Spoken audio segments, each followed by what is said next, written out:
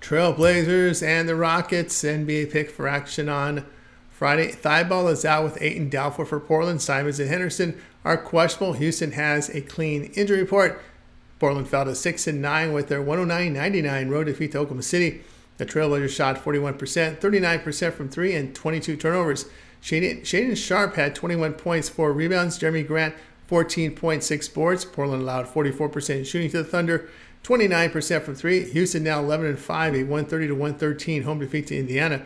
The Rockets shot 46%, 33% from 3. Alperen Sengun at 31 points, 12 rebounds. Jabari Smith chipped in with 23 points and 8 boards. Houston allowed 51% shooting to the Pacers, 23% from 3.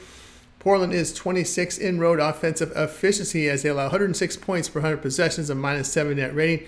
Houston, fourth in home defensive efficiency, allowing 103 points per 100 possessions, a plus 11.5 net rating.